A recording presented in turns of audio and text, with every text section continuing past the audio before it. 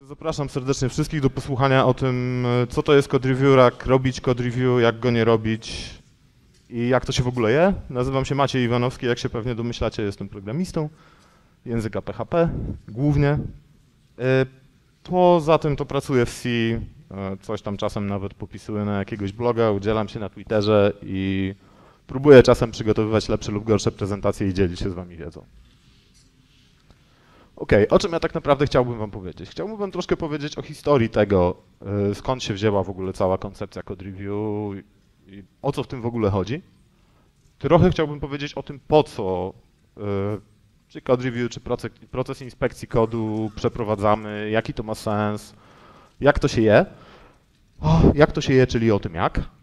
A jak również o tym, jak nie, bo to jest równie istotne, a czasami nawet dużo bardziej istotne od tego, w jaki sposób robimy code review, jest, jest, jest to, w jaki sposób go nie powinniśmy w żadnym wypadku robić. Trochę powiem o problemach, które wiążą się może nie tyle z samym, z samym procesem code review, ile bardziej z procesem wdrażania code review w firmie, w której code review nie jest, nie, nie istnieje, w której, w której takich praktyk się nie stosuje. Na koniec powiem trochę o korzyściach. To będzie w dużej mierze slajd skierowany do tych z Was, którzy code review nie robią, a chcieliby robić. I to troszeczkę taki zbiór argumentów, dla, które, które można by wykorzystać w dyskusji, w dyskusji z menadżerami. Dobra. Za to, że w ogóle code review w takiej formie, jaką w tej chwili znamy, istnieje, odpowiada ten oto pan. Jak widzicie, żył sobie w XVII wieku w Wielkiej Brytanii, nazywał się Henry Oldenburg i był sekretarzem Royal Society. Royal Society y, to jest odpowiednik Polskiej Akademii Nauk po tamtej stronie kanału. Y, Dyplomata, filozof natury, teolog, no taki naukowiec, naukowiec tak, taki ja- jacy wtedy byli naukowcy, tak?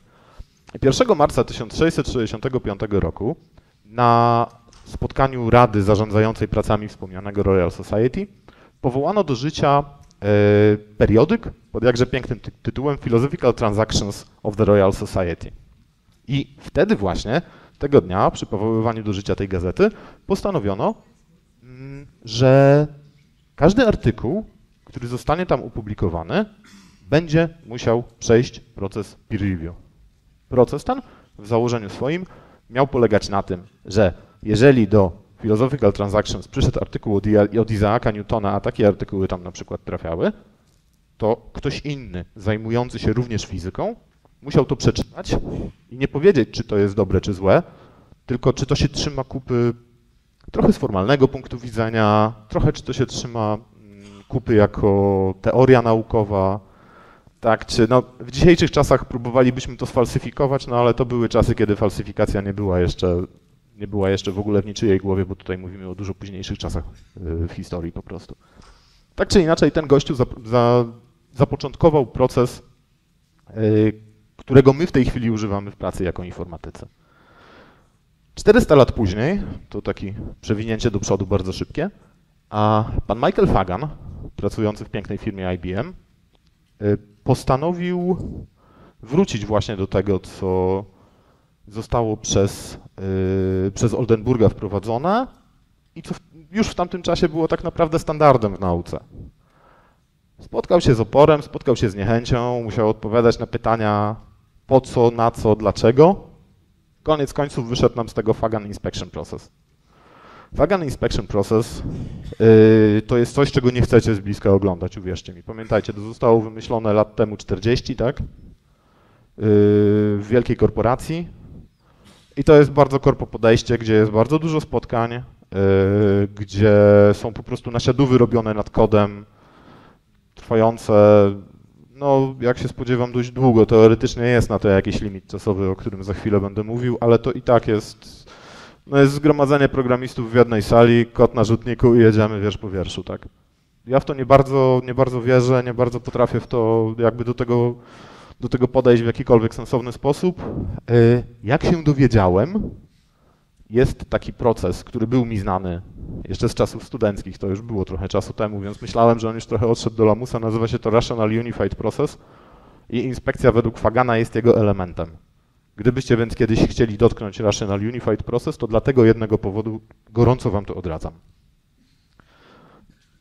I razy drzwi 20 lat później nadszedł czas na Extreme Programming, a jeżeli Extreme Programming to programowanie w parach, a jeżeli programowanie w parach, to coś, co jest określane mianem Continuous Inspection. Jeżeli programujecie w parach, to wiecie, jak to mniej więcej wygląda. Jeżeli nie programujecie w parach, to siedzą dwie osoby obok siebie, piszą kod razem, w sensie jedna pisze, a druga robi kod review w czasie rzeczywistym, w zasadzie. To co, to, co, to, co robi ten wasz kolega, czy ta wasza koleżanka, która, która nie pisze, tylko siedzi obok was, jest uważane za proces code review przeprowadzany w czasie rzeczywistym, tak? A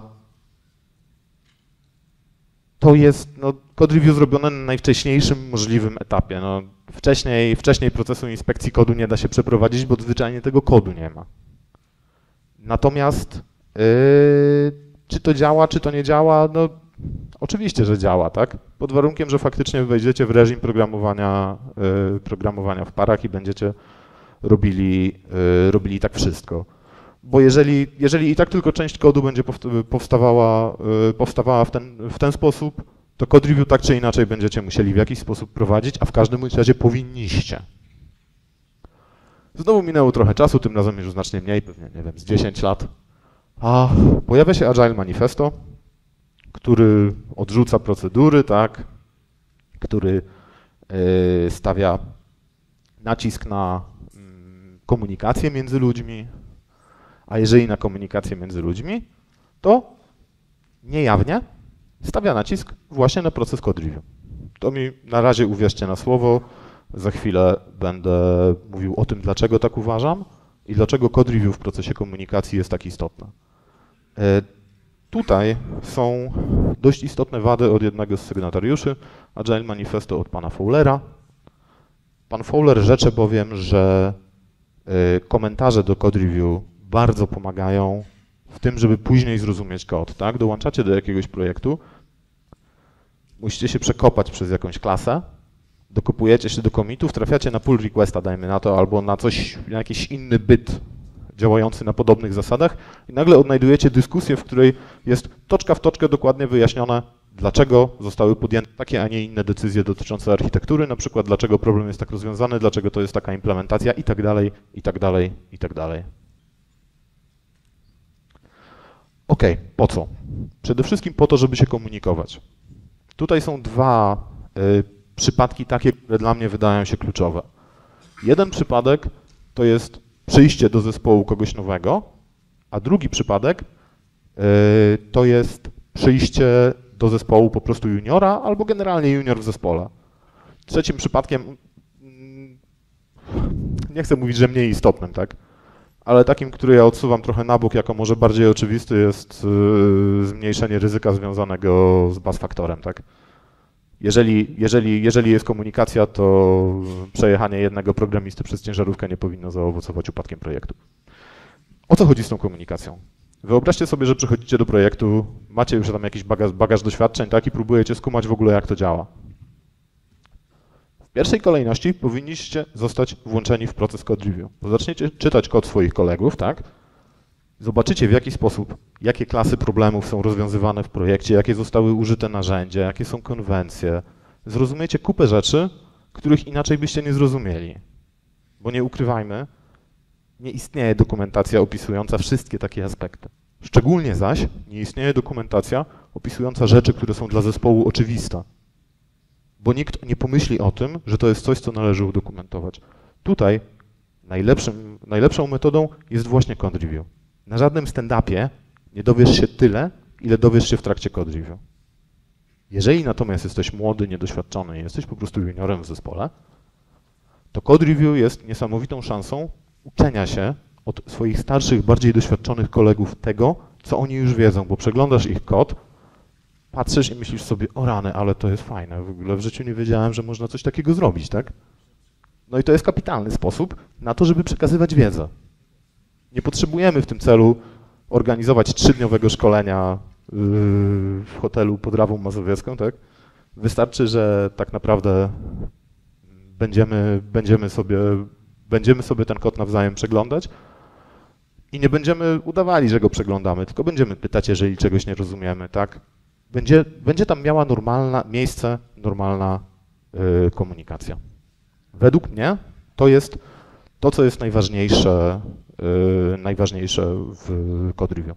Druga rzecz to jest oczywiście wczesne eliminowanie błędów, które się w aplikacji y, pojawiają.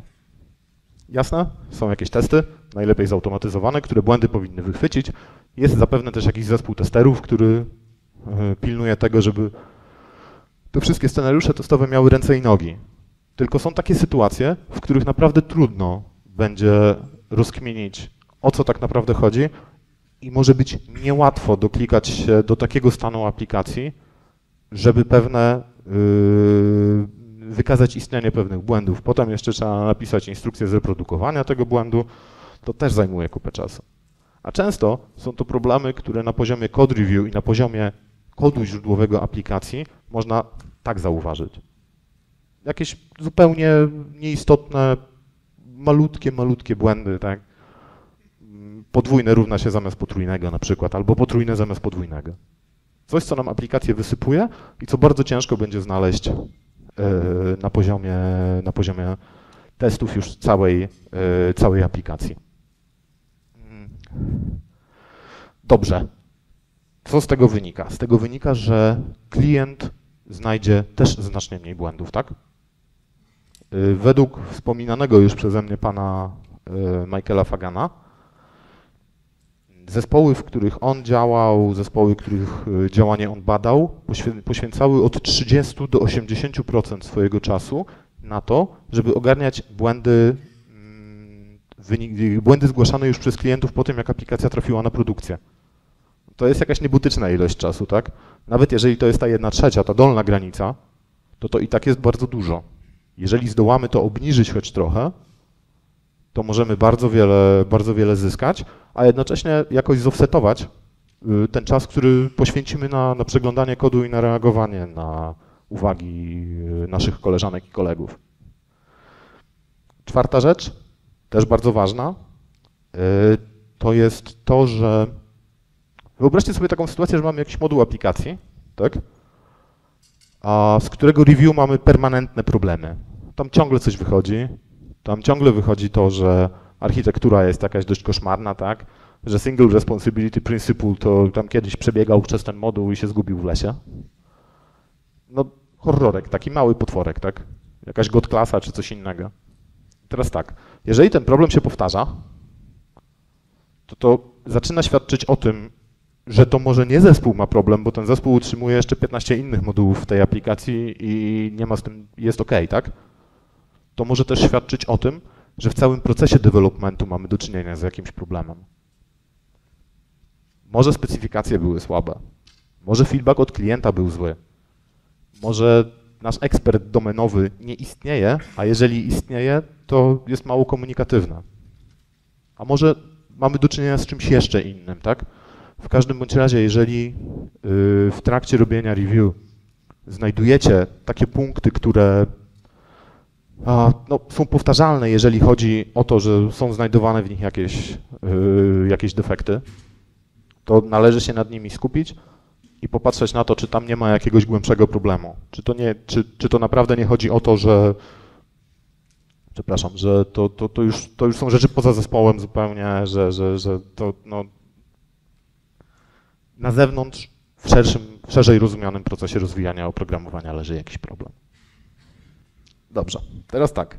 Jak chcemy robić to nasze magiczne e, code review, to jak to mamy robić? Już zdążyłem wam powiedzieć, że Faganem tego nie mamy robić, a programowanie w parach jasne? Podejrzewam, że duża część z nas e, je praktykuje przynajmniej od, od czasu do czasu. Nie mam pojęcia, jak wielu z was robi to na, naprawdę na co dzień, tak na, na serio, serio, serio yy, jedzie, jedzie jedzie per programmingiem.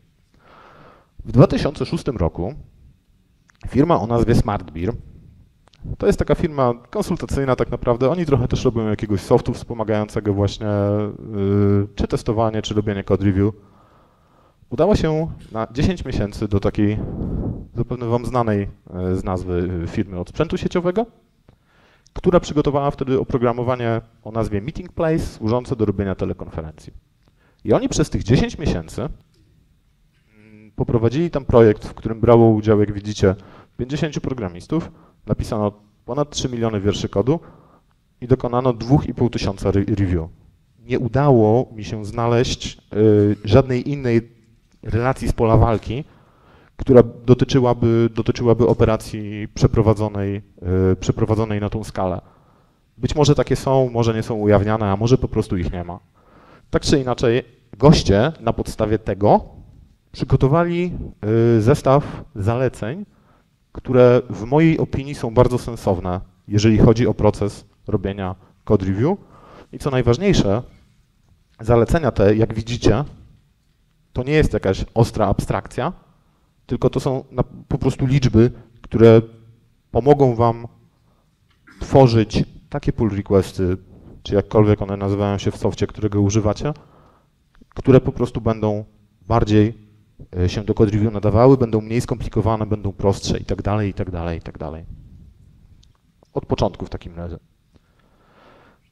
Po pierwsze, jeżeli tworzycie pull requesta, ja będę używał GitHubowej terminologii, już więcej się z tego nie tłumacząc, e, to pierwszą rzecz, którą robicie, którą powinniście robić i którą ja sam zawsze robię, to przejrzyjcie tego pull requesta przed kliknięciem tego, tego ostatniego przycisku utwórz albo zaraz po tym, jeżeli wcześniej nie macie takiej możliwości. Przejrzyjcie ten kod, zobaczcie, czy tam czegoś nie brakuje, czy nie znajdują się tam jakieś y, zupełnie oczywiste naruszenia, tak? Y, zasad, które, które, które spowodują na bank zadymę. Mi się na przykład bardzo często zdarza w tym momencie zidentyfikować brakujące kawałki PHP doka, tak, albo inne, inne tego typu naruszenia. To jest też fajny moment, żeby się zorientować, że nie wypuszowałem dwóch ostatnich komitów, bo łatwo będzie to zauważyć, a to też jest rzecz, którą się czasami zdarza nam przeoczyć. Także to jest rzecz pierwsza, to jest część pierwsza i na tym etapie też fajnie jest sobie zidentyfikować takie punkty w tym pull requestie, które nie to, że są niejasne, bo jeżeli tam jest coś niejasnego, to najprawdopodobniej znaczy, że z naszym kodem jest coś nie tak. Ale jeżeli na przykład wprowadzamy nową bibliotekę i w Composer.json pojawia się nowy wpis, to sensownie jest dodać komentarz mówiący, służy do tego, wprowadzam to dlatego. Tak? Jeżeli robimy coś innego, podobnego, na przykład używamy nowatorskiego i wcześniej nie, niespotykanego sposobu rozwiązania jakiegoś problemu, to też należy napisać, że to z tego wynika, tutaj możesz sobie zajrzeć, tam to znalazłem i wydaje mi się, że jest fajna. Tutaj nie chodzi o to, żeby wynajdywać te miejsca w waszym kodzie, o których sami wiecie, że są złe i sami byście ich nie przepuścili przez code review, tylko chodzi o to, żeby trochę pokazać drogę y, waszego, waszego myślenia, waszym koleżankom i kolegom, którzy ten kod będą przeglądali. Dobra, teraz będzie część numeryczna. Y, jeden pull request nie powinien być większy niż 200 do 400 wierszy kodu. 200 zostało uznane przez SmartBeera w tym badaniu za wartość optymalną. Powyżej 400 wierszy kodu wydajność przeglądających, y, ludzi przeglądających takiego pull requestu drastycznie, takiego pull requesta drastycznie spada. To się po prostu robi za dużo i jest to najzwyczajniej w świecie ciężko ogarnąć umysłem. Jeżeli siadacie do code review, to nie powinniście przeglądać więcej niż 300, niż 300 do 500 wierszy kodu, kodu w jednej sesji. Tutaj są, to są takie same widełki jak przed chwilą. Do 300 wartość optymalna, powyżej 500 robi się nieciekawe. Czyli tak naprawdę jeden pull request na powiedzmy te 400 wierszy to jest pi razy drzwi godzina pracy. Jeżeli chcemy to zrobić na serio i sensownie.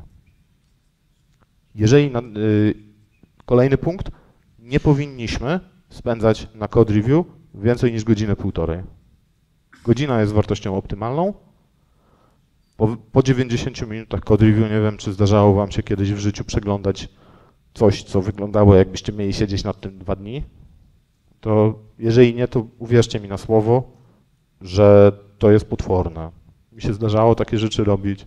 Co więcej, zdarzało mi się mm, pisać w Jirze, w Jirze zadania, które potem prowadziły do, do powstawania takich pull requestowych potworków. Nie idźcie tą drogą, naprawdę. To niech to będzie, niech to będzie małe, niech ten pull request będzie dotyczył czegoś bardzo, bardzo, bardzo konkretnego. A jeżeli macie duże zadania y, i wiecie, że będziecie nad nim długo pracować, to i tak powinniście je sobie podzielić na mniejsze zadania dla własnego dobra, tak żebyście widzieli, co już jest zrobione, co jeszcze nie, tak żeby każde z tych zadań nie było dłuższe niż jeden dzień. A pamiętajcie też o tym, że nie istnieje zmiana za mała do tego, żeby ją przejrzeć. W każdej jednej aplikacji, która istnieje na świecie, idę o zakład, istnieje, można znaleźć przynajmniej jeden taki wiersz kodu, który jest w stanie wysłać w kosmos nagle i niepostrzeżenie albo całą aplikację, albo dużą jej część. Przeglądajcie absolutnie, absolutnie wszystko. Nawet jeżeli to jest jeden wiersz. Teraz tak. Tak jak Wam wspominałem, e, istnieją pewne, e, pewne limity czasowe również, e, również, w tych, również, również w tym faganowskim podejściu. Tam też się uzna, uznaje, że 90 minut to jest faktycznie jakaś taka granica tego, co, co należy robić. Dalej nie należy cisnąć, bo, no bo po prostu robi się to, robi się to za długie obciążenie umysłowe dla, dla człowieka, który, to, który, to, który tą operację przeprowadza, staje się zbyt duże. Jak widać, wszyscy się tego trzymają, więc te spotkania, o, wam, o których wam mówiłem na pierwszym, e, na samym początku prezentacji, one też nie, nie trwały w nieskończoność, tak? One też powinny mieć jakieś swoje limity czasowe. Jeżeli chodzi o wydajność czy skuteczność tych tradycyjnych procedur i tych nowych procedur, to jest je bardzo trudno ze sobą porównać. No bo tak w zasadzie najsensowniej byłoby to porównać na podstawie tego, jaką ilość defektów znaleźliśmy za pomocą jednego typu procesu i drugiego typu procesu, tak? No dobrze, to y, mam dla Was bardzo smutną informację. Y, możemy ze sobą porównywać liczby, tylko że będą to liczby takie jak 105 y, defektów na 1000 linii kodu, 7 defektów na 1000 linii kodu i 27 setnych defektu na 1000 linii kodu. Wynika to po prostu z tego, że definicja defektu we wszystkich tych podejściach znacząco się od siebie różni. Trzecia rzecz, bardzo ważna, kluczowa rzekłbym, Pewnie większość z nas tutaj albo pracuje w jakimś tam agile'u, albo chciałaby pracować w jakimś tam agile'u, albo uważa, że pracuje w jakimś tam agile'u. To wyobraźcie sobie wpinanie te, w, te, w coś takiego fagana i tych spotkań z całym zespołem. Życzę powodzenia y, i mam nadzieję, że y, wyrok śmierci, który wyda na management, zostanie wykonany szybko i będzie to śmierć mało bolesna, ale nie byłbym o tym już przekonany. Tylko takie podejście, o jakim ja wam tutaj w tej chwili mówię, nadaje się do użycia w jakichś, y, w jakichś agile'owych warunkach, w warunkach, w których często się coś zmienia, no, w normalnym, realnym, programistycznym świecie, tak? Więc idźcie tą drogą, zdecydowanie. Ok. A w kwietniu tego roku czterech panów pod wodzą pana McIntosha, bardzo ładne nazwisko. E, e, większość z nich była, e, jeśli dobrze pamiętam, Kanadyjczykami. Jeden pan był z jakiegoś japońskiego uniwersytetu. Opublikowała artykuł zatytułowany An Empirical Study of the Impact of Modern Code Review Practices on Software Quality. Czyli tłumacząc to na nasze, panowie, naukowcy, siedli do tych właśnie lekkich metod przeglądania, o których wam przed chwilą mówiłem, i zaczęli się zastanawiać, e, jaki, jak to się odbija na jakości wytwarzanego oprogramowania. Czy, czy to daje radę, czy to nie daje rady i tak naprawdę jakie e, są najważniejsze czynniki wpływające na skuteczność, na skuteczność przeprowadzania takiego code review. Metryką, której użyli do tego, żeby oceniać skuteczność, jest liczba błędów, które się przedarły na produkcję. Czyli metryka, myślę, że ogólnie wszyscy tutaj zebrani uznalibyśmy ją za bardzo sensowną. Mhm. I teraz tak. Spojrzeli tak naprawdę na y, trzy aspekty. Y, patrzyli na to, czy jaki wpływ na całość sytuacji ma y, coś, co oni określili mianem review coverage, Czyli właśnie to, o czym mówiłem przed chwilą, że czy Czy przeglądano każdy jeden wiersz, tak? Czy przemykał się jakiś kod, który nie był przejrzany? E, patrzyli też na to, e, w jaki sposób przebiegał proces code review. Czy pojawiały się jakieś komentarze i pojawiała się jakaś dyskusja? Mm, I patrzyli na to, kto prowadził code review. Czy był to po prostu jeden z członków zespołu, czy był to ktoś, kogo można by uznać y, za eksperta oddanego, y, oddanego kawałka, y, kawałka systemu. Otóż co im wyszło? E, wyszło im na to, że przeglądanie wszystkiego nie wystarcza. Że nawet jeżeli przejrzycie wszystko, to w 50% przypadków to przeglądanie wszystkiego i tak będzie bardzo silnie skorelowane z pozostałymi dwoma czynnikami, tak? Więc to jest zdecydowanie, zdecydowanie, ale to zdecydowanie za mało.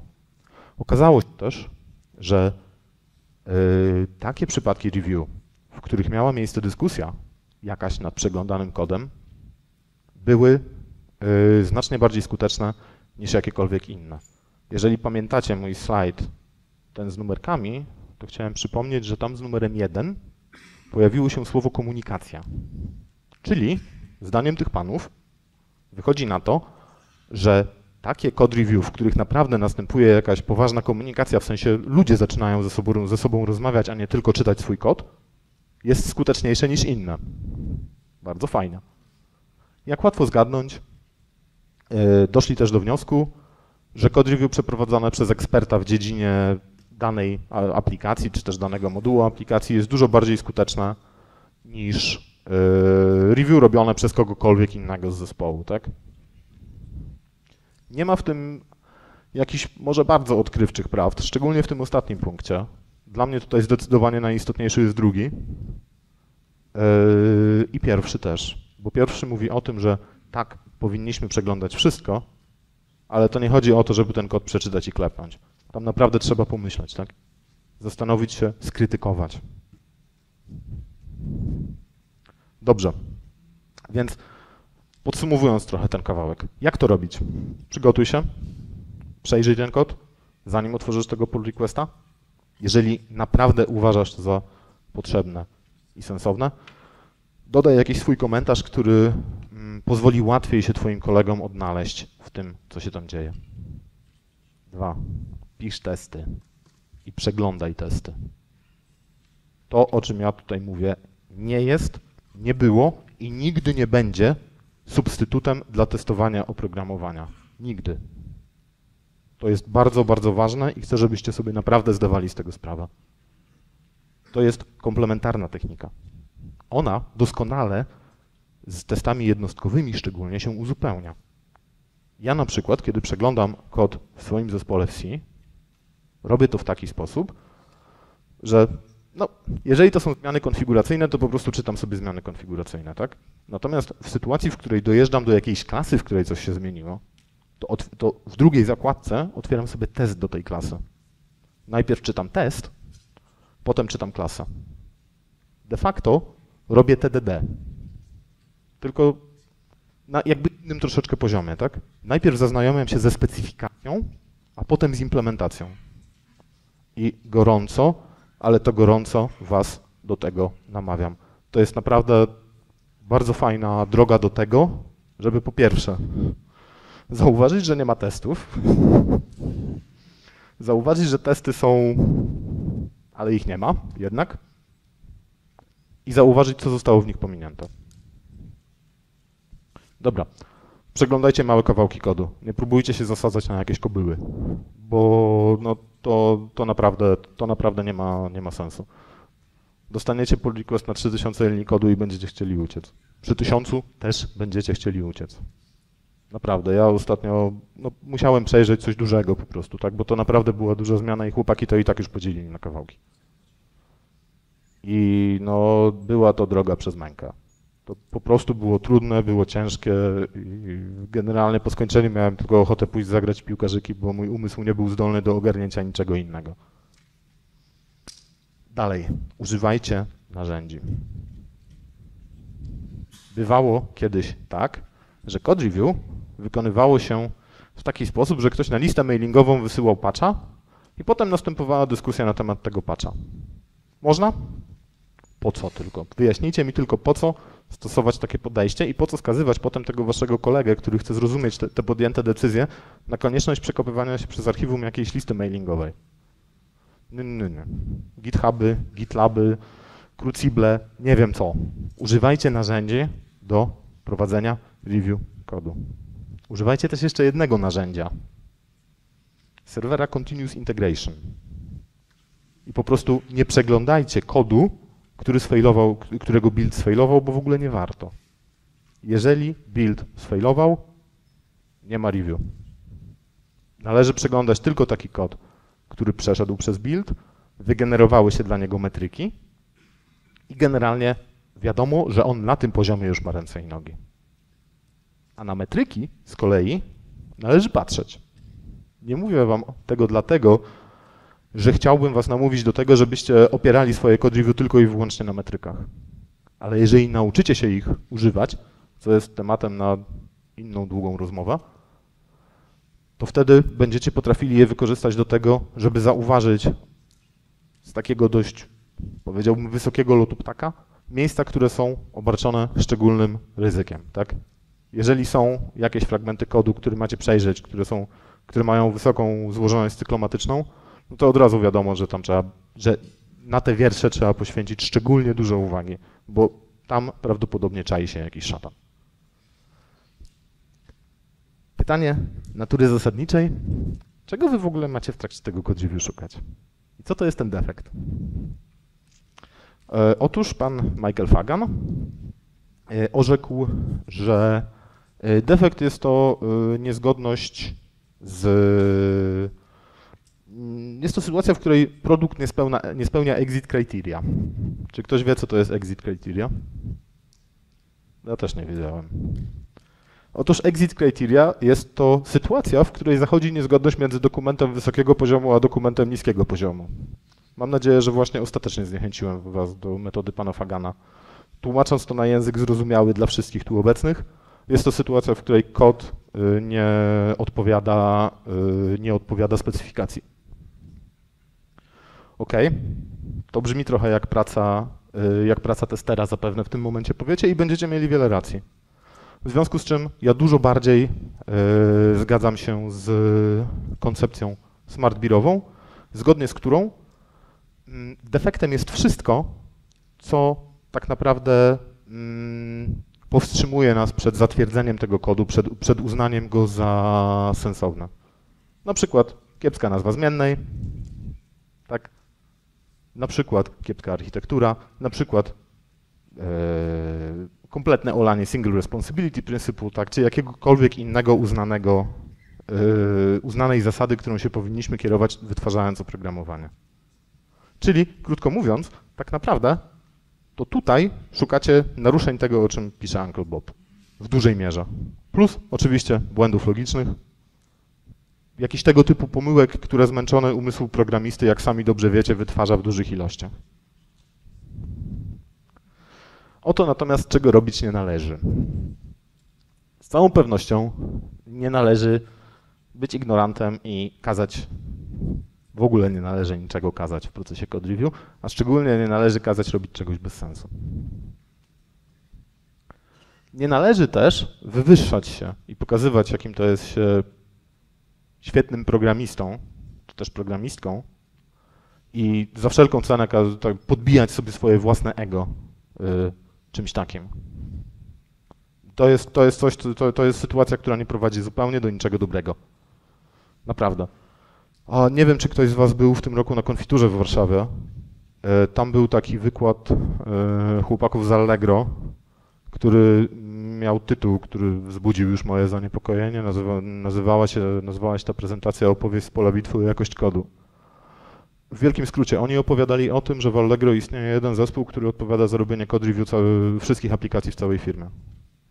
I sami mówili, że na początku, jak zaczynali pracę, to mieli problem dokładnie, dokładnie, dokładnie z tym, o czym ja teraz mówię. Nie potrafili w taki sposób komunikować swojego przekazu do innych zespołów, żeby te zespoły natychmiast nie, nie miały syndromu, kurde, z pomieszkiwania w oblężonym mieście, nie okopywały się, nie wyciągały haubic i armat i nie zaczynały się ostrzeliwać. To jest strasznie ważne. Y, tutaj mała dygresja. Jeżeli na sali jest ktoś z Allegro, kto w ten sposób pracował tylko po tej drugiej stronie, był programistą, którego, którego kod tak przeglądano, to ja bardzo chciałbym z takim człowiekiem porozmawiać, bo dla mnie to jest całkowita herezja. Ja po prostu chciałbym się dowiedzieć, czy mam rację. Ja w życiu nie byłem w takiej sytuacji, nie wiem jak to działa. Jeżeli na sali jest ktoś, kto pracował w ten sposób, to bardzo bym prosił, żeby ze mną chwilę pogadał po tej prezentacji, bo ja po prostu chciałbym się dowiedzieć, jak to tak naprawdę w realu wygląda. A no nie należy też formułować takich żądań, jakie tutaj zostały przedstawione. Zdecydowanie, bo to nie prowadzi do niczego dobrego. E, robienie takiego code review to jest strzał w stopę w kolana i we wszystkie inne możliwe kończyny, które tylko mamy pod ręką, tak? No, nie warto, kompletnie. E, w tym badaniu e, z kwietnia tego roku, o którym Wam mówiłem wcześniej, po, pojawiła się taka piękna informacja, że w Androidzie 4.0.4 tylko 2% kodu było przejrzane na przykład. Ciekaw jestem, czy to przypadkiem to, ten obrazek nie ma wiele wspólnego z powodami, dla których tam poziom przejrzenia tego kodu był tak, tak niski. Szanujmy się. Nie wiem, czy obiło wam się o uszy o tym, jak ostatnio y, pewien Fin odniósł się do zmian chyba związanych z USB, jeśli mnie pamięć nie mieli, ale mogę, się, mo, mogę nie mieć racji, y, w kernelu pewnego wolnego systemu operacyjnego. Y, nie liczyłem tych faków, które się pojawiły w jego wypowiedzi, natomiast pamiętajcie o tym, że to jest komunikacja z ludźmi, z którymi na co dzień pracujecie. Szanujcie ich, bo inaczej sami nie będziecie szanowani. To jest chyba, jedn... nie wiem, czy to nie jest najważniejsza rzecz, którą ja mam, ja, ja mam wam dzisiaj do powiedzenia. Szanujcie się, nie, nie rzucajcie w siebie mięsa. Nie, nie, nie wkurwiajcie się na siebie po prostu. Na spokojnie. Trzeba się wyluzować. A jak naprawdę ciśnienie wam skoczyło, to idźcie zagrać piłkarzyki i wróćcie. Dobra, problemy. A deweloperka z code review trwa o 20 do 30 razy więcej. Przepraszam? O Boże, Jezu, oczywiście razy więcej. Dobry, dziękuję. 20 do 30% y, dłużej. Oczywiście trwa taka deweloperka. Natomiast jak twierdzi Michael Fagan, siema, y, dzięki temu jesteśmy w stanie ściąć o 40% czas po, poświęcony na utrzymanie naszej aplikacji. Już dużą część tego mamy, mamy zoffsetowane. Inne problemy Yy, a, według takiego badania smartbirowego, które zostało prze, przeprowadzone w 2013 roku, 35% firm, które nie robią review, nie robią review dlatego, że to zajmuje zbyt dużo czasu. Kolejny problem, nadmiar obowiązków. Jeżeli macie kupę roboty, to możecie odpychać od siebie to code review, bo po prostu no, nie macie na to czasu, tak? Macie jakieś tam deadlines powyznaczane i tak dalej, i tak dalej, i tak dalej. Rozwiązanie? Alokujcie czas na review. Pamiętajcie, że wasza estymacja którą musicie wypluć biznesowi, powinna zawierać w sobie również estymację czasu poświęconego na review tego taska. To się wiąże z trzecim punktem, czyli z planowaniem. Bywa też tak, że yy, ludzie boją się tego, że to jest coś nowego, to jest, to jest coś, czego, czego nigdy nie robiliśmy i tak naprawdę nie chcemy, yy, nie chcemy robić. No tak, no nie fajnie, to jesteśmy programistami, chcemy się uczyć, a nie uciekać przed nowościami, tak? Yy, opór taki stawiany jest czasem przez menadżerów i to jeszcze jest zrozumiałe, tak? Jeżeli menadżer jest zupełnie nietechniczny i po prostu nie kuma, o co w tym chodzi, to w jakiś sposób ma prawo mówić, że nie ma to rąk, nóg i sensu. Jeżeli natomiast opór przed wprowadzeniem code review stawiają programiści, to znaczy, że najprawdopodobniej jest jakiś potężny problem w zespole. Bo w mojej opinii głównym czynnikiem, dla którego programiści mogliby nie chcieć robić code review, jest lęk przed tym, co powiedzą koledzy. A jeżeli ktoś się tego boi, to najprawdopodobniej znaczy, że jest jakiś kwas w zespole. Mniejszy, większy, ale ja bym stawiał raczej na większe. Więc jeżeli wasi koledzy z zespołu projektu czy koleżanki protestują przeciwko robieniu code review, oje, to, to dobrze nie jest. To jest slajd dla y, waszych menadżerów. Proszę wyciągnąć długopisy, prawda, karteczki i notować. Komunikacja, tak? Chcemy się uczyć, chcemy się rozwijać. Firma, która ma zadowolonych programistów, sama w sobie jest lepszą firmą. Firma, w której możemy się dzielić wiedzą, jest szczęśliwszym miejscem pracy, bo pozwala się nam rozwijać.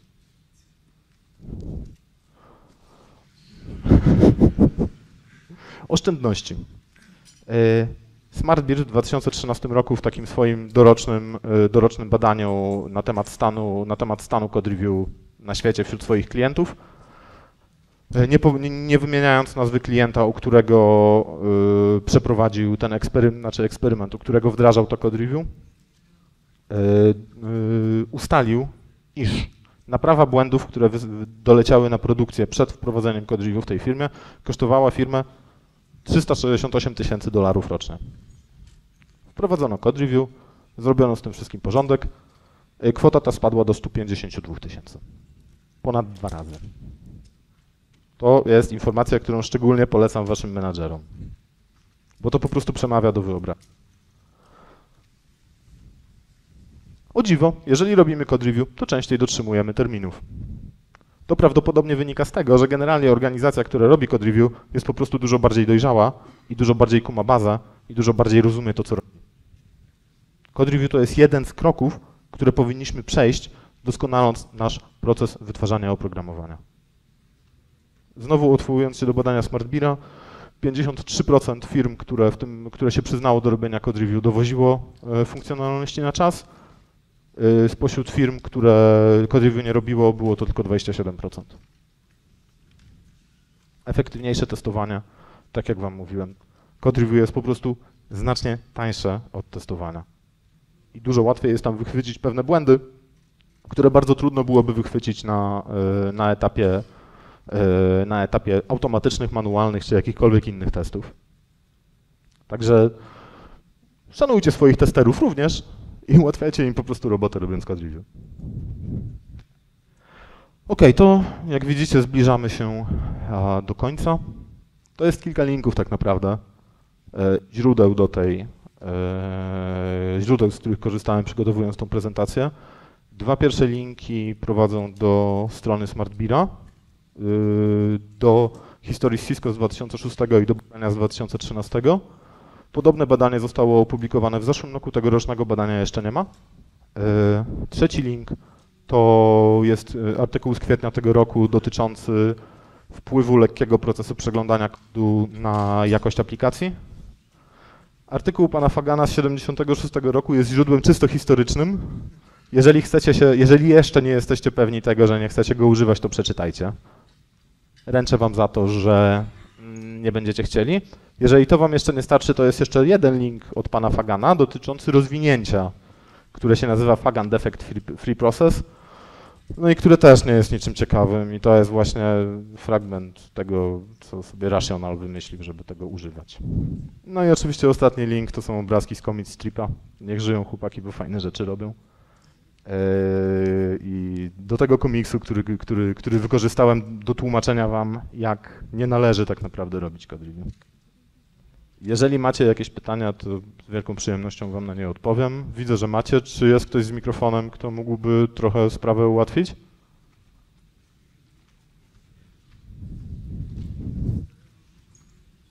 Dziękuję Ci bardzo.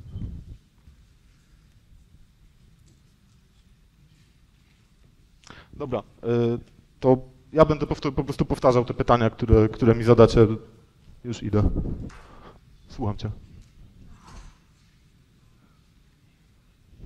czego używamy, jakich narzędzi i jakie narzędzia bym polecał do robienia code review. Yy, używamy GitHuba i mogę z czystym sumieniem yy, polecić GitHuba. Zdarzało mi się też w życiu używać Crucible'a, natomiast uważam, że w większości przypadków jest to kosmiczny overkill i w ogóle no, strasznie dużo, to, to jest narzędzie, które ma potężne możliwości, ale no, moim zdaniem troszeczkę nie warto, tak? Jasne, że fajna jest integracja z całą resztą tego, tego atlasjanowego stacka, ale to nie o to, to nie o to jakby chodzi.